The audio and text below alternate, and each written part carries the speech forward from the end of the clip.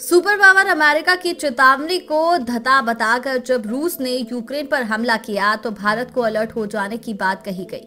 ये कहा जाने लगा कि रूस ने यूक्रेन के खिलाफ जैसा किया, वैसी ही हरकत चीन भी भारत के खिलाफ कर सकता है।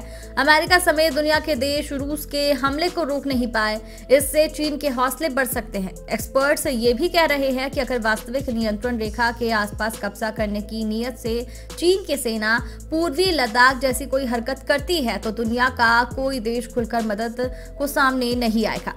अभी रूस के हमले थमे नहीं हैं और चीन के तेवर बदलते दिख रहे हैं। जी हाँ यूरोप के हालात देख उसने एशिया को धमकाना शुरू कर दिया है। खास बात यह है कि धमकी जैसा रवैया चीन के उस शख्स ने दिखाया जो भारत में राजदूत रह चुका है।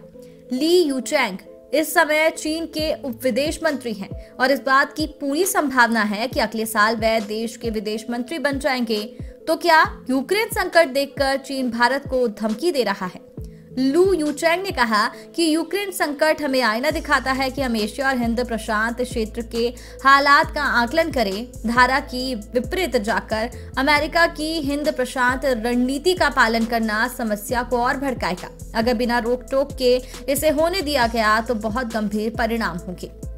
यूक्रेन का उदाहरण क्यों दे रहा चीन?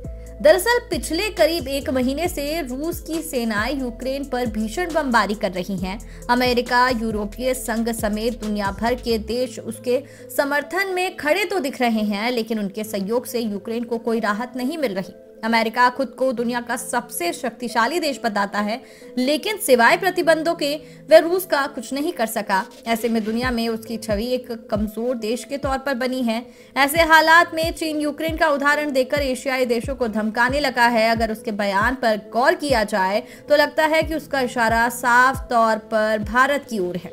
क्या कहते हैं एक्सपर्ट्स ऑब्जर्वर रिसर्च फाउंडेशन के रिसर्च फेलो परजन्य भट्ट कहते हैं कि अगर इस हालात में चीन की फौज कोई हरकत करती है तो भारत कूटनीतिक और सैन्य दोनों तरीके से एकदम अकेला रहेगा। उन्होंने कहा कि अमेरिका इस समय रूस के साथ किसी तरह के फौजी टकराव में उलझना नहीं चाहता। अमेरिका ही नहीं, नाटो के बाकी सदस्य देश भी रूस से सीधे तौर पर उलझने से कतरा रहे हैं। यही वजह है कि चीन को हालात का अंदाज़ा हो गया है। रूस के हमले से पहले का दौर याद कीजिए, अमेरिका समेत नाटो संगठन रूस को आगाह करते हुए बयान जारी करते हैं। ऐसा लगता था कि यूक्रेन में रूस घुसा तो अमेरिका करारा जवाब देगा। यूक्रेन भले ही नाटो का सदस्य नहीं, पर उसे इस गुट में लाने की कोशिश तो चल ही रही थी। फिर भी अमेरिका ने आर्थिक मदद और कुछ मिसाइल हथियार देकर यूक्रेन को उसके हाल पर छोड़ दिया। उसके बाद नाटो कहने लगा कि रूस ने अगर हमारे किसी सदस्य देश पर आक्रमण रुख अपनाया तो मुँह तोड़ जवाब दिया जाएगा। यानी ज़्यादा कुछ हवा हवाई ही रहा। परजन्य भट्ट अपने लेख में लिखते हैं कि यूक्रेन संकट चीन के लिए अवसर लेकर आया है। चीन रूस के साथ खड़ा दिख रहा है। उसने रूस की सैन्य कार्रवाई को आक्रमण नहीं कहा है। यूएन में वॉशिंगटन से भी वह गैर हाजिर रहा। इससे रूस चीन के करीब आ गया। वे कहते हैं कि भारत को चौकन्ना रहना होगा। युद्ध से जुड़ी हर जानकारी से अपडेट रहने के लिए हमारे चैनल को सब्सक्राइब कर लीजिए।